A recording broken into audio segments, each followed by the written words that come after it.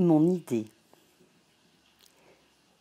Tu as appris que la Terre et tout ce qui s'y rapporte sont seulement les manifestations extérieures de mon idée, dont l'expression parfaite est actuellement en cours de réalisation par le processus de la pensée. Tu as vu que mon idée est à l'origine de toute chose créée, et qu'elle est à la fois la cause la raison de toute manifestation, ce qui t'inclut, ainsi que tes frères et sœurs, dont j'ai imaginé l'existence, moi, le seul penseur et créateur originel. Nous étudierons maintenant l'évolution de cette idée du début à travers les différents stades de son expression sur Terre, ainsi que le processus grâce auquel je l'ai pensé dans son état actuel de manifestation. Au début, à l'aube d'un jour nouveau cosmique, quand la conscience de la parole ne faisait que s'éveiller et que régnait encore le calme de la nuit cosmique, moi, le penseur, j'ai conçu mon idée. Cette idée, mon idée de moi, manifeste dans une nouvelle condition appelée l'expression terrestre, je l'ai vue entièrement reflétée dans le miroir de mon esprit omniscient. Dans ce miroir, j'ai vu la vraie Terre rayonner avec éclat dans le cosmos, sphère parfaite où les phases, les attributs et les pouvoirs infinis de ma divine nature trouvaient tous une parfaite expression par l'entremise des anges de lumière, messagers vivants de ma volonté, mon Verbe fait chair, tel qu'il est dans le monde céleste de l'Éternel. J'ai vu mon soi adopter la forme tangible de la nature, et ma vie prendre celle du principe vivifiant évolutif qui sous-tend toute manifestation. J'ai vu l'amour, divin pouvoir de création, comme la force qui anime et stimule toute vie, et mon désir de donner parfaite expression à cet amour comme le potentiel, la cause et la raison véritable de la naissance de mon idée. J'ai vu tout cela reflété dans mon esprit qui voit tout et sait tout, qui ne pouvait voir et refléter que l'âme des choses, leur réalité. Ce que j'ai vu illustré dans mon esprit était donc la vraie Terre, son début, sa conception d'entité cosmique. Ma conscience est l'essence intrinsèque de tout espace et de toute vie. C'est la substance réelle de mon esprit qui comprend et englobe tout, dont le centre influent et vitalisant est partout, et qui n'a ni limite ni périphérie. Au sein du seul royaume de mon esprit, je vis, j'évolue et j'ai mon être. Il contient et remplit toutes choses à la fois, et ses moindres vibrations et manifestations ne sont que l'expression d'une phase quelconque de mon essence. Être, c'est exprimer, extérioriser. Tu ne peux imaginer l'être sans expression. Et donc, moi, tout ce qui est, je suis toujours en train d'exprimer, constamment et continuellement en train d'exprimer. Exprimer quoi? Qu'est-ce que je pourrais exprimer si je suis tout ce qui est, sinon mon soi? Tu ne peux pas me voir ou me comprendre encore, voir ou comprendre mon soi. Mais tu es capable de comprendre quand je t'inspire une idée. Si je suis tout ce qui est, l'idée qui vient directement de moi doit être une partie ou une phase de moi dans son essence, son expression.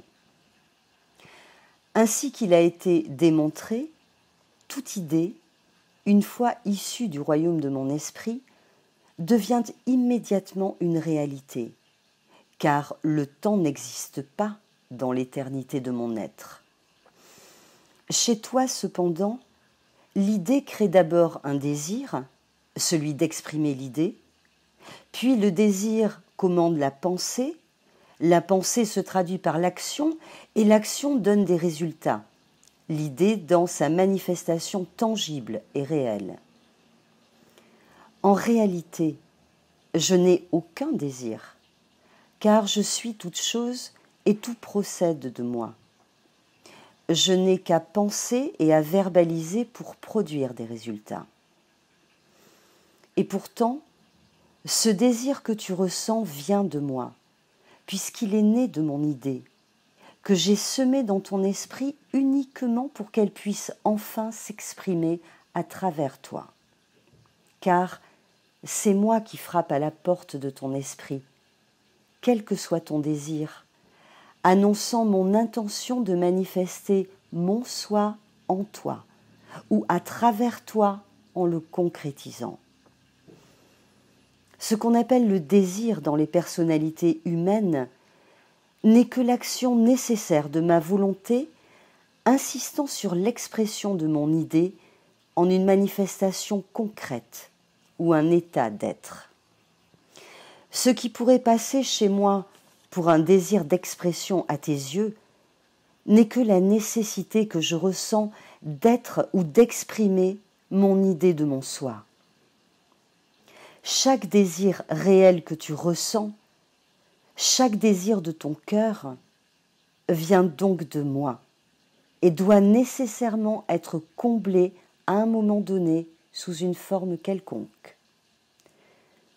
En revanche, puisque je n'ai aucun désir, comme je suis toute chose, une fois que cette idée d'exprimer mon soi dans une nouvelle condition a jailli, je n'ai eu qu'à penser, c'est-à-dire à concentrer ou focaliser mon attention sur mon idée et à l'inciter à s'exprimer par ma volonté, ou comme le dit mon autre révélation, à incarner le Verbe créateur, pour que les forces cosmiques de mon essence, soumises à une vibration par la concentration de ma volonté, se mettent sur le champ à tirer les éléments nécessaires du réservoir éternel de mon esprit.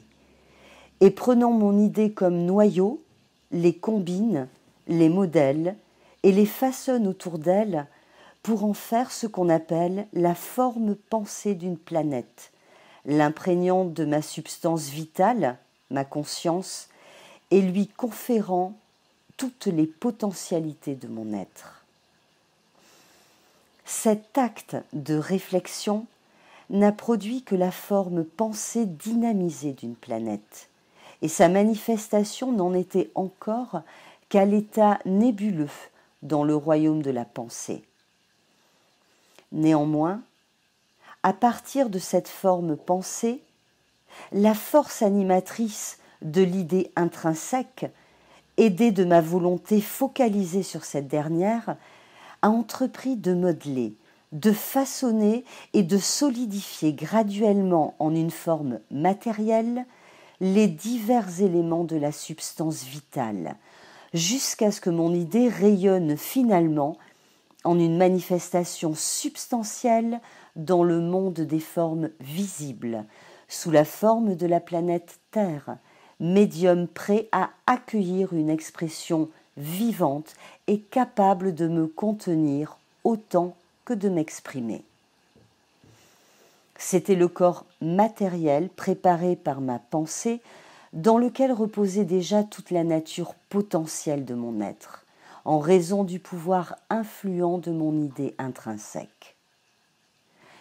L'étape suivante consistait à élaborer et à préparer les médiums ou les moyens grâce auxquels je pourrais exprimer les multiples phases, possibilités et pouvoirs de mon idée. La preuve de cette étape s'est manifestée dans le visible par ce que l'on connaît comme le monde minéral, végétal et animal, qui, chacun son tour en arrivant à la manifestation, a déployé graduellement des états de conscience de plus en plus élevés et complexes qui m'ont permis d'exprimer de plus en plus clairement les phases et la variété infinie de ma nature. C'est alors que j'ai regardé ma création comme il est écrit dans mon autre révélation, et que j'ai vu que cela était bon. Mais il restait encore le moyen d'expression définitif, le point culminant. À ce stade, même si chacun exprimait parfaitement une certaine phase de ma nature, tous les moyens et les médiums existants étaient inconscients de moi et représentaient des avenues d'expression uniquement comme un fil représente un moyen de conduire la chaleur, la lumière et l'énergie. Les conditions étaient néanmoins mûres pour la création de moyens grâce auxquels mes attributs divins pourraient trouver une expression consciente, non seulement de leur lien par rapport à moi, mais aussi de leur capacité et de leur pouvoir à exprimer mon idée. C'est à ce moment, dans le temps, que tes frères, tes sœurs et toi êtes venus au monde en temps d'expression humaine, arrivant à la manifestation de la même façon que tous les autres moyens, en réponse à ma pensée ciblée, alors que j'ai vu toute la variété infinie de mes attributs s'exprimer dans des concrétisations ayant figure d'entité, chacune manifestant de façon prédominante certaines phases de mon être, et chacune étant consciente de moi, son créateur et émetteur. Je t'ai vu comme une expression parfaite, exactement comme je te vois en ce moment, le vrai toi, un attribut de mon soi, parfait. Car, en réalité, tu es un ange de lumière, un des rayons de ma pensée, un attribut de mon être, mis en âme dans les conditions terrestres sans autre but, qui n'est pas un but au fond, mais une nécessité de mon être, que l'expression finale et complète de mon idée. L'Éternel ne connaît ni temps, ni espace, ni individualité. C'est seulement en raison du phénomène de la naissance de la pensée, de la matrice de l'esprit, dans le monde de la matière, que les illusions du temps, de l'espace et de l'individualité ont cours. La pensée ou créature acquérant la conscience de sa séparation d'avec son penseur ou créateur. C'est ainsi qu'a jailli pour la première fois la tendance à te penser séparé de moi. Il a fallu longtemps avant que la conscience complète de la séparation ne devienne un fait établi. Au début, quand tu es entré dans l'expression terrestre, obéissant à l'élan que j'avais projeté à travers ma pensée focalisée, toi, en tant qu'un de mes attributs, tu as enveloppé ou vêtu ton soi avec mon idée de mon soi, dans l'expression de l'attribut que tu représentais. Tu étais la force animant l'idée. Autrement dit, mon idée de mon soi, exprimant cet attribut particulier, est devenue l'âme de ton expression. Cependant, cette idée ou âme n'est pas toi, ne l'oublie pas, car en réalité, tu es une partie de moi, étant mon soi exprimé à travers cet attribut. Une fois ton soi revêtu de mon idée, cette dernière, répondant à la nécessité de mon essence, s'est immédiatement mise à attirer à elle la substance de pensée nécessaire à l'expression de mon attribut, pour le former et le modeler à mon image et à ma ressemblance. Il est donc devenu un temple sacré, imprégné de ma présence vivante, parce qu'il est habité par toi, un de mes divins attributs. Étant à mon image et à ma ressemblance, constitué de ma substance de pensée entourant et revêtant mon idée, ce temple est donc ton corps véritable, donc indestructible, immortel, parfait.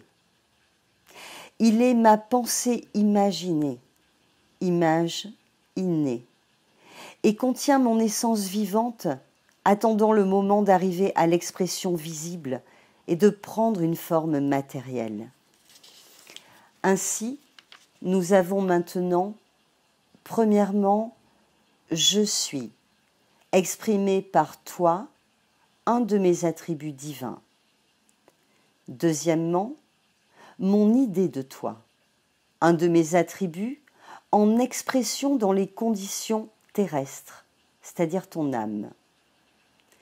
Troisièmement, ma pensée imaginée de toi, formant le temple de ton âme, c'est-à-dire ton corps d'âme dans lequel tu vis. Ces trois éléments composent la partie divine ou impersonnelle de toi, l'immortel trois en un. Toi, ma pensée latente est néanmoins complètement formulée, créée à mon image et à ma ressemblance, et pourtant inanimée, et n'ayant aucun lien avec ta personnalité humaine qui n'est pas encore née.